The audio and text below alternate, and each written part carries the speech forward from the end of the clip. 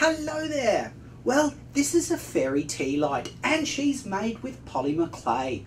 But before we get into it, if you love art, then you have to check out our other lessons at www.montmart.net and maybe join us on Facebook, Instagram, or subscribe to our art club, The Creative Connection. So let's make a fairy tea light.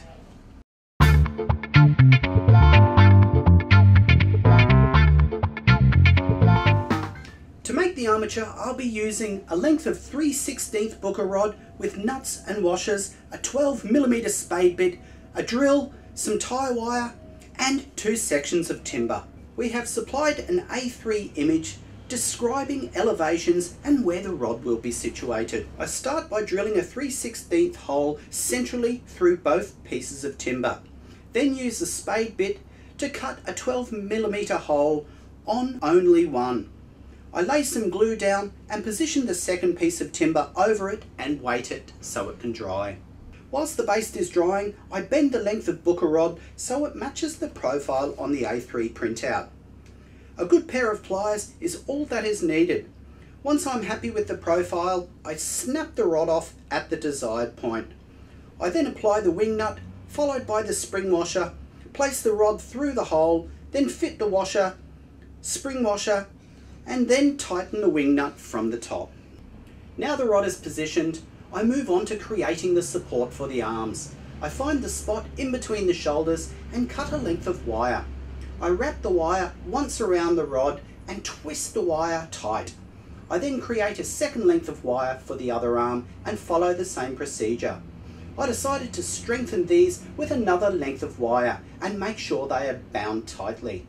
Next, locate the correct position of where the hips lie and fasten two lengths of wire onto the rod using the same method.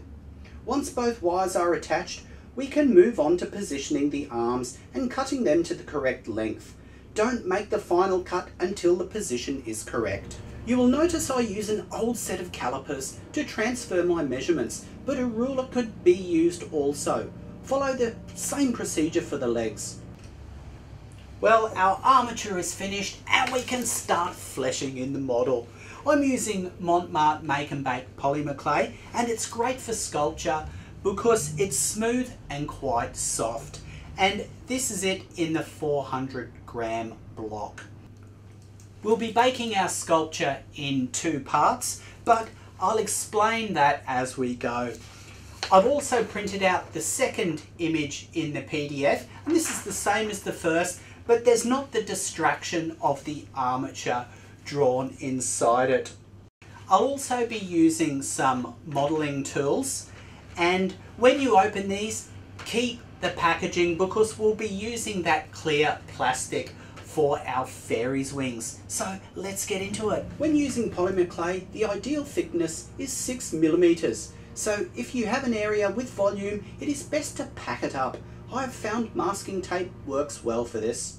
So condition the clay and apply it to the legs first. Ensure there is no air between the armature wire and the clay. There is really two main ways to sculpt, subtraction and addition. Subtraction basically means removing the material or carving and addition obviously means to build up the model by adding bits. I think for polymer clay it's good to use both methods. So I approximately shape the legs and hips until I have a rough form that I'm happy with. Once all the elements are in, I start to develop the shape with a hobby knife. I am mindful that when modelling a human form, there is many underlying elements to think about. Muscle tone and bones that lie under the skin and how the body dynamics work together. I find long muscles easier to depict by removing the clay around them with a knife. A calf muscle can be easily suggested by removing the clay from beneath it. All of a sudden, the form just reveals itself. Once the form is shaped to satisfaction, I smooth it all off with the wooden curve tool. If there is any areas that require more clay, I add it and smooth it in. So that's the legs in and they're all smoothed out. Uh, now we can move on to the torso. So let's get that on. The torso is handled the same way, but there is a little more margin for error because this part of the fairy will be partly covered by her dress. It still must be sculpted fairly accurately though, because this shape is what will carry the form when we add the clothing. I also have to bear in mind that ideally I want the wall thickness to be about 6 millimeters thick. That way I won't get any surprises from cracked or uncured clay down the track. I lay the head into position. This is just temporary, but it helps me establish the correct positions for the arms. The arms are effectively handled in the same manner as the legs. I just ensure that I apply more clay than I need so I can remove it as needed. Elements like shoulder blades can be added, smoothed and carved to shape as required. With a little bit of close observation, one is able to make these areas look most convincing. Trim away the unwanted clay and if you do use a knife, treat it with a little respect because obviously they are sharp. I always think it's good to get reference too. We look at our arms all the time, but once you start sculpting, you observe them in a very different light. A little bit of clay removed in the correct spot makes a huge difference. The chest can be suggested from two crescent-shaped bits of clay, then smoothed onto the torso. I create the head from alfoil tightly packed onto the booker rod and wrapped with some masking tape. I screw this into the correct position and then cover it with clay. Without doubt the head is the most challenging part to get right, but if you persevere, you usually come up with something you're happy with. Everybody has their own technique. Because this is a fairy, I've attempted to make the face more chiselled and the cheekbones quite high and prominent. The goal is to make her look as pretty as possible, the eye area is best handled by creating the eye sockets first and then adding the eyes into the void. I've created her with big eyes and I've closed them so she looks blissed out. I find a clean Taklon brush is very effective for soft blending. I can't wait to paint this model. That will be happening down the track so stay tuned. Okay, well we've finished the body and the head. So now we just need to place the tea light holder uh, on top of her there. So create a shape, a rough round shape like this. Just make sure that it's about six mils thick and place it like this. Position the holder so that it is quite secure. I have a tea light candle next to me to help me get the correct position. I press the ends of the arms onto the holder and keep manipulating it until it looks natural. I then create some very simple hand shapes by cutting them with my blade and apply them onto the arms and the holder. Once they are in position, I smooth them onto the holder and refine them so they look right. I add bits and pieces where they need them. So the hands are done and we can now shape this flower. So place the tea light in the flower we can then trim it to the desired shape and bake it.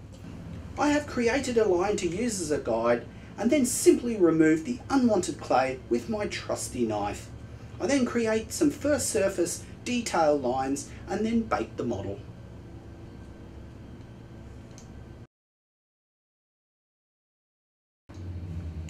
Well I've taken my fairy out of the oven and let her cool. It's time now to clothe her and add some hair. So we do that by rolling some clay and I've rolled this about three and a half, maybe four mils thick. So uh, let's get this on. I use a rolling pin to thin the clay, but many people use a pasta machine with great effect. I wrap the sheet around the fairy and trim and blend any joins of clay together. It is really up to the artist to choose how to design the dress. Mont Marte polymer clay is flexible yet supple and fabric can be suggested very effectively. You can see with this stage how important it is to get the underlying shape right. You can push and pull the clay around with the model beneath hardened as well. I wanted her dress to be somehow inspired by petals. One thing I will say is the longer parts of the dress have been reinforced with a second sheet of the same thickness underneath and I have thinned it out at the edges so the fabric still looks thin. I have cut the rough shape of how I want the hair to be situated. I then score grooves in it and add form by creating lines, cutting it in areas and basically refining it till I'm happy. I add those cute little pixie ears by pressing them onto the head and blending them with the hair. I give it a clean up with the brush. I then lay a sheet onto the base. I've added some mushrooms and these will look fantastic when I paint the model down the track. Time now for the second baking.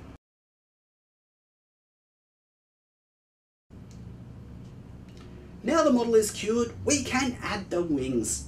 I take the third image in this PDF, place it on the table, and place that modelling tools packaging on top of it and profile cut it with my knife. I then bend it to shape. I will say too that those first scores should not be too deep. I then use a hot glue gun to adhere the wings and voila!